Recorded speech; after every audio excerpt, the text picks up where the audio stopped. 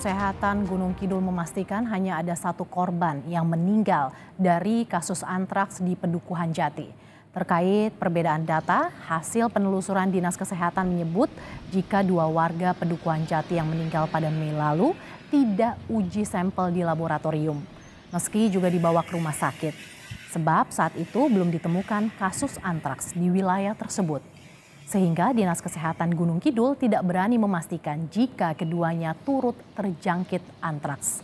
Namun demikian, dari aparat desa dan keterangan keluarga keduanya turut mengonsumsi daging sapi di daerah Dusun Jati.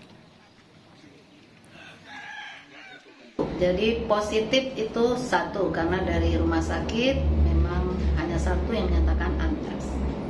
Kemudian data yang berbeda sebenarnya kami telusur ya setelah itu itu kejadiannya di bulan Mei justru. Nah, waktu itu kan belum ada cerita tentang antraks. Jadi pasien ini dibawa ke rumah sakit itu tidak diambil e, sampel untuk pemeriksaan antraksnya.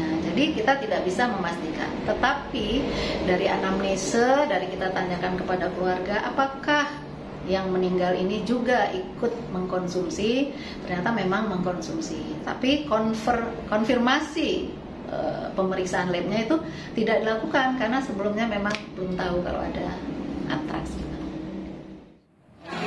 Sementara itu seorang warga yang positif antraks masih dirawat di RSUD Wonosari. Total ada 87 orang positif antraks di Pedukuhan Jati Gunung Kidul. Rencananya hari ini Dinas Kesehatan akan kembali mengambil sampel darah untuk memastikan penyebaran antraks tidak meluas.